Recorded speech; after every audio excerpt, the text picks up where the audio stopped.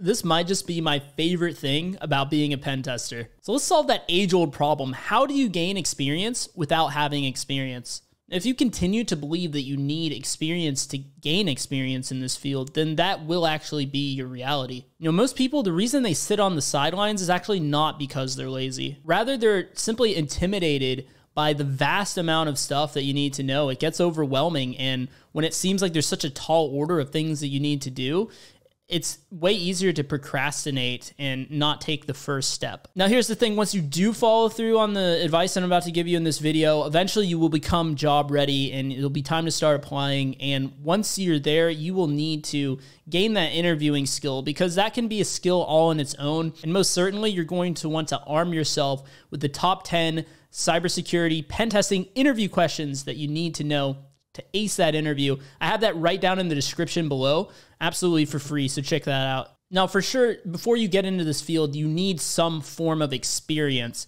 But the thing is, you do not need an actual job to gain that experience. And the inverse could also be true, right? You could have that job and not be gaining the experience that you need to really level up as well. So, for example, I you know, my first job, I, I worked with this coworker that, you know, they were very eager to learn, but they they were overwhelmed by the vast amount of stuff here. Cause even when you get that first job, there's still that sheer feeling of wow there's a lot that i need to learn even from where i'm at right now. I feel like i know nothing. You know some people might have that experience. I think a lot of people do. Even i've seen people that are super advanced that still feel that way right? But this person they would actually watch a lot of videos and read a lot of books, you know, about hacking and, and pen testing, different stuff like that. And actually, they even had a master's degree. They went as far as to even go and get a master's degree in cybersecurity. Now, here's the thing that person is still working in that same job, making about $80,000 a year, even though I think they have about they have more more years of experience than me. They have about eight years, seven, eight years of experience in the in the field, like in the in that job. They've been working for the same company and never never really moved on from there. And so, yeah, keep in mind the average salary just to give you guys the a number to kind of mentally anchor to in this field as a pen tester is about $116,000 a year. That's what uh, most of the statistics are saying. And, you know, over six years in the field, you definitely should not be making 80K. There's so many opportunities to make so much more than that. Um, I will say that my salary, I'm, I'm more than double that person's salary. And I'm not saying that to be like, oh, look how great I am. But I am saying that to say that you need to gain experience in, in this field, right? And you need to, of course, you then need to use that experience to gain higher paying jobs and, and move up as you go. But a, a huge part of that, a huge issue with not being able to move up is the fact that that person doesn't really have the technical skill set so much. They have the theoretical, right? They've read a lot of books, they've done a lot of courses and stuff like that, but they were afraid to actually get that hands on experience to learn and to level up because you can learn a lot of theory that's going to help you uh, in interviews and stuff like that just by reading a book or um, watching videos, right? Maybe like videos like this, but where the actual acquisition of the skill comes into place is only in one place, and that is while you're doing it. While you have your hands on the keyboard, you're making mistakes, you're getting hands on tackling the stuff. That's why I make such a huge emphasis on that in my courses and things like that. And in the videos, I talk about the importance of being hands on with your learning.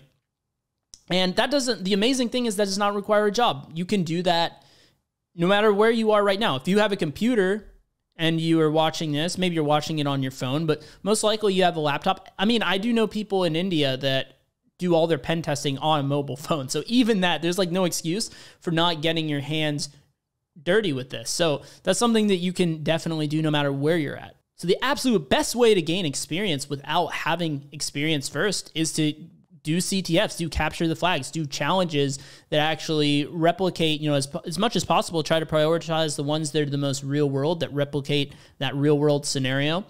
But yeah, if you're not there, you got to work your way up to, to getting there. I know a lot of you guys that watch this are more beginner level and stuff like that. Some of you are further along. Maybe you're pursuing your OSCP.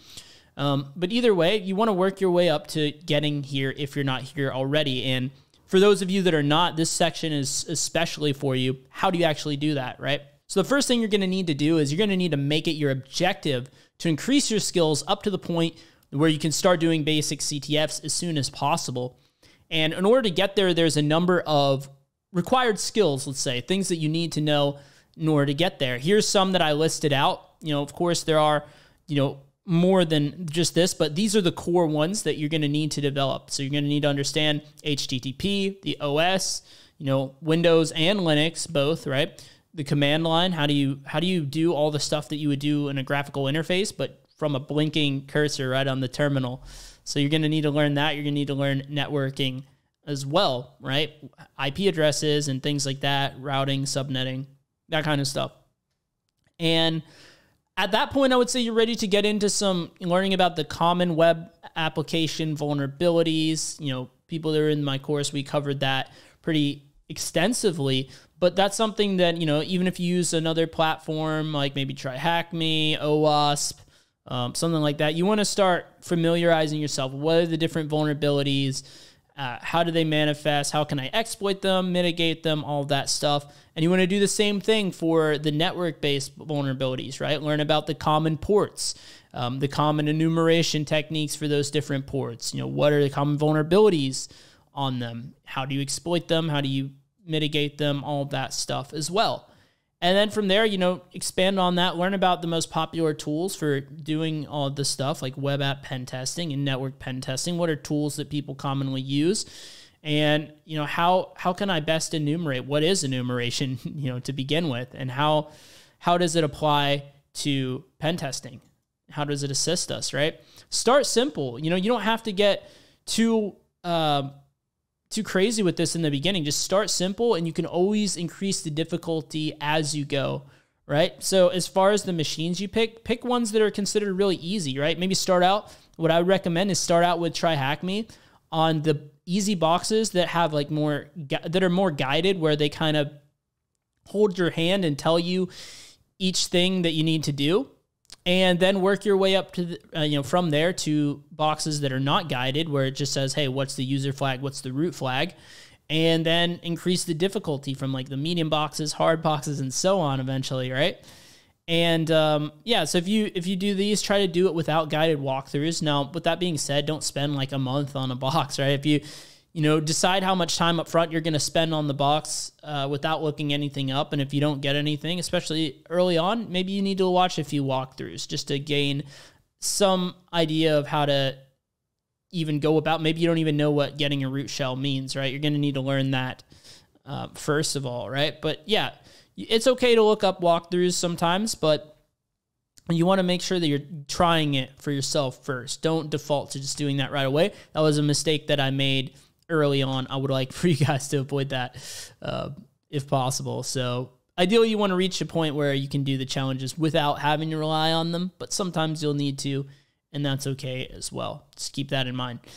Uh, so yeah, absolutely read the write ups after you do the challenges. Though this is a really nice hack um, because you want to learn about you know with these boxes, normally there's so many different ways you can do it. It's really up to the attacker and what is their methodology, what tools do they like to use, what is their techniques. And if you read about how other people solve the same machine as you, you might gain new perspectives on different tools you could use you didn't maybe know. Maybe there was an easier way to exploit the thing than what you did, or an easier way to enumerate something. And reading their walkthroughs or watching their walkthrough videos after the fact can really make you that much better as a pen tester. So definitely I would recommend doing that. I think a lot of people don't do that. And you know, you should feel some level of discomfort. That's where the true growth occurs, right? You know, it might feel a bit over your head though to be honest. In the beginning you're not going to know. Everything's going to feel over your head. But if you stick with it, you'll be surprised how much of the stuff you could actually solve. Uh, but at, you know, eventually you'll start to get a feel for what's like a little bit beyond your capabilities right now and what is difficult, but more of like a like a stretch. All these boxes should feel like a bit of a stretch goal to solve them, um, but it should be within your capability as well. And then at this point, if you can do that, if it's your jam to go for certifications, go for it. Uh, you're completely ready at this point where you're able to start, if you're able to start doing some of these CTFs.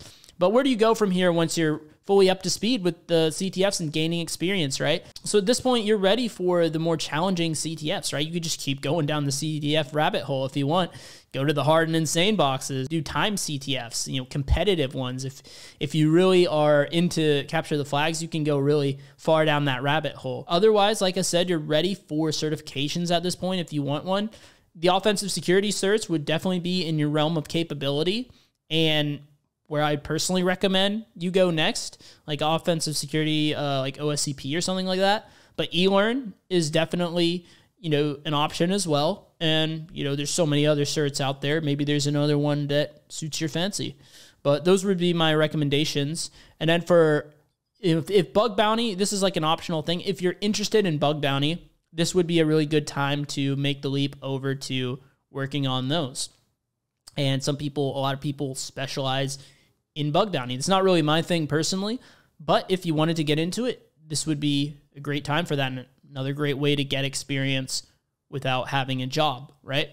So don't make the mistake of trying to do all these things though. You know, you might be super ambitious. Like that was one of the hardest things for me is just, and I think for a lot of people that are, they gravitate towards this field and have that curiosity mindset is like, you want to do everything, but you have to really restrict yourself if you want to make substantial progress in any one area. So out of this list, pick one and commit to that. So what stage are you in in the uh, whole journey of working your way up to CTFs? Perhaps you're doing them already. Let me know down in the comment section below. It's always helpful for me to know, get a better understanding of where everyone is at with this stuff. And specifically, I'd like to say that if you're interested in web app pen testing, and you want to know where doing CTF fits into the overall like roadmap of the things you need to learn on your journey to be job ready, uh, check out my video, A Proven Path to Get into Cybersecurity Pen Testing. I have that one on the screen for you right now. I'll see you right over there.